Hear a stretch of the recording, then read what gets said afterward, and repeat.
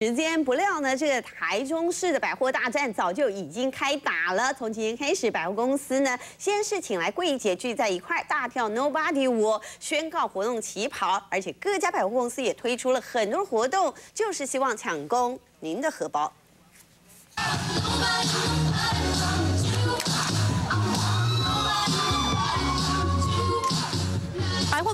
姐换装跳热舞，台下近千名柜姐也不甘示弱，大动作一起跳 Nobody，连男性主管也戴上假发，换上闪亮紧身衣，就是希望今年业绩跟这首舞一样红。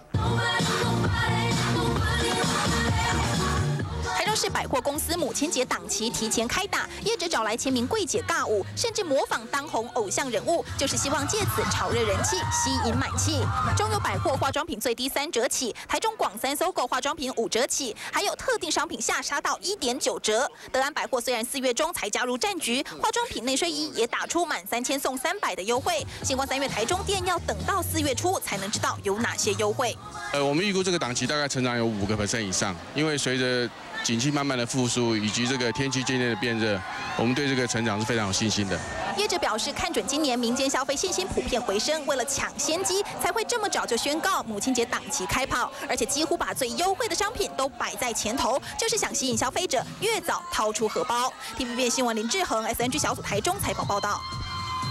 好，再来看看争议话题呢，就是天王周杰伦这里面闹出了所谓的侵权纠纷，为什么呢？大家都知道周董哦，他在电影《苏乞儿》当中有客串演出，不料如此